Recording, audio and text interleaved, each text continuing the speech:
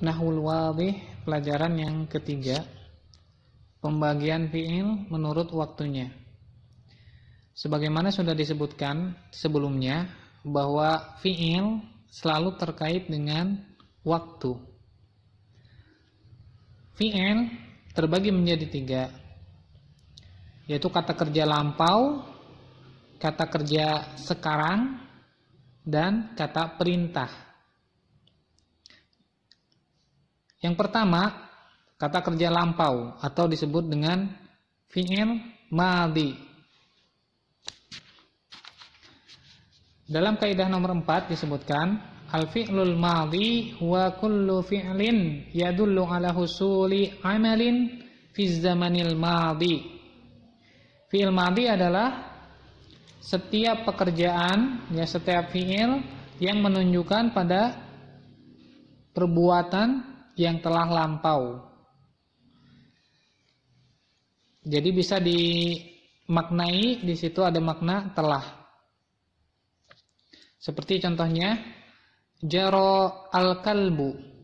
Fi'il madinya yang disebutkan di sini adalah jara. Ya. Berlari. Maknanya telah berlari. Waqafa ar-rajulu. Ya, waqafa telah berhenti. Do'al kitabu do'a ya, telah hilang. Daqqatis sa'atu daqqat. Ya, di sini domirnya adalah ya.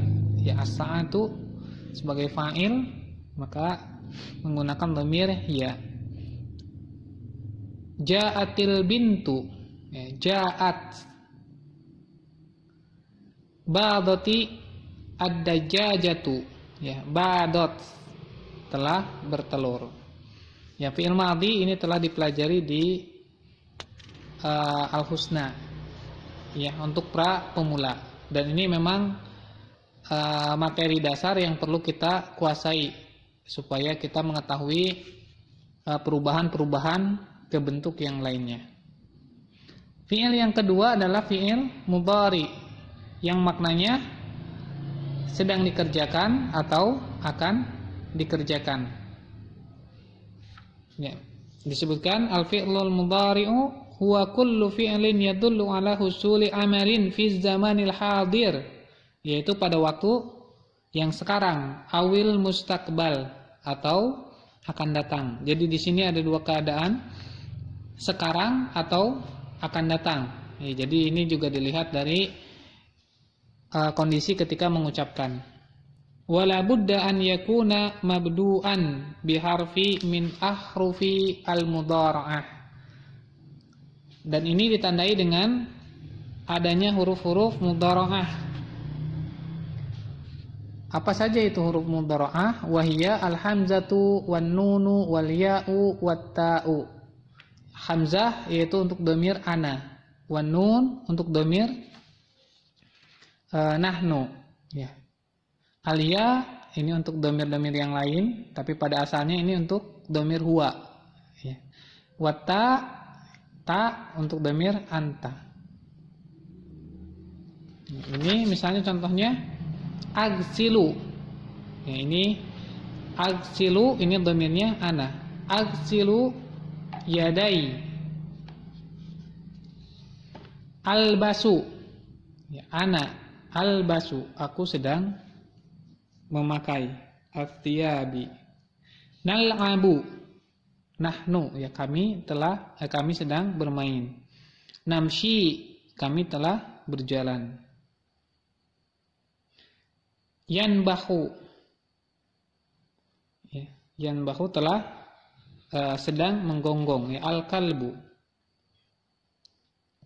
yantabihu al harisu yang tabihu telah bersiaga ya berjaga-jaga. Takulu albintu. Takulu. Ya takulu di sini untuk domir hiya yaitu albintu. Tadkhulu alwardatu. Uh, tab tadbulu alwardatu. Ya alwardatu ini domirnya hiya Ini juga sudah dipelajari di uh, Al-Husna level kedua ya. Untuk itu memang fi'il madhi dan fi'il mudhari ini memang harus dikuasai satu persatu ya. Memang bisa uh, domir-domirnya dengan tanda-tandanya bisa dihafalkan dalam waktu cepat, tapi untuk penggunaan ini tetap membutuhkan pelatihan yang cukup. Ya, jadi tidak hanya sekedar melihat tabel saja, tapi dalam penggunaan kalimat-kalimat yang menggunakan fi'il madhi dan fi'il mudhari. Ya. Dan fi'il amr ini setelah mengetahui fi'il mudhari nanti ada cara-cara pembentukan fi'il amrnya dari fi'il mudhari. Ya, ini yang dipelajari dalam tasrif ya dari fi'il madhi ke fi'il mudhari perubahannya seperti apa, dari fi'il mudhari ke fi'il amr perubahannya seperti apa. Ya.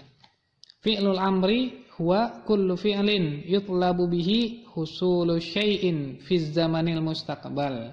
Ya, fi'il amri yaitu setiap fi'il yang digunakan untuk meminta ya suatu pekerjaan pada waktu yang akan datang. Jadi ini bentuknya permintaan ya atau perintah. Baik nanti dikerjakan atau tidak fi zamanil mustaqbal itu pada uh, waktu yang akan datang. Contohnya il'am. Ya ini dari yal la'iba yal'abu il'am. Il'ab artinya bermainlah. Di sini ada domirnya anta. Dan fi'il amar ini ya yang dimaksud adalah perintah langsung. Jadi kata perintah yang memang ditujukan untuk orang yang ada di situ. Perintah langsung. Untuk kata ganti orang yang kedua. Il'ab bil kurati. Bil kurati.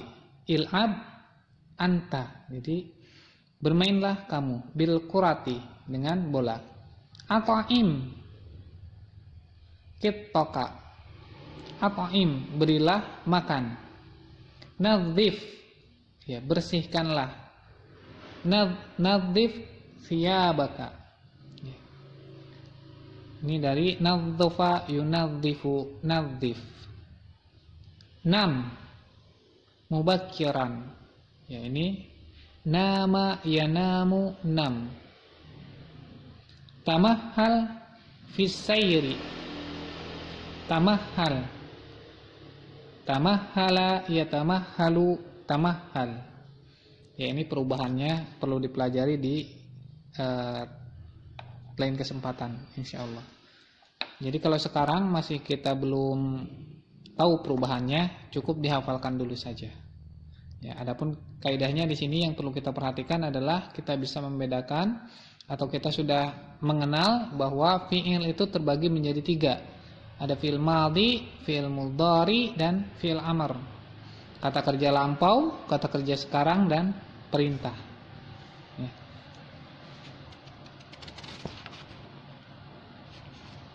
Barakallahu fiikum